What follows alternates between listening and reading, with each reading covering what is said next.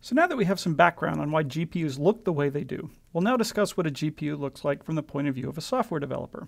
One of the themes of this class is the importance of programming in parallel. This is a crucial skill, not just for GPUs, but also for CPUs even. If you buy an 8-core Intel Ivy Bridge processor, we see that it has 8 cores. Each core has 8 wide AVX vector operations. Each core supports two simultaneously running threads. Multiply those together and you get 128-way parallelism.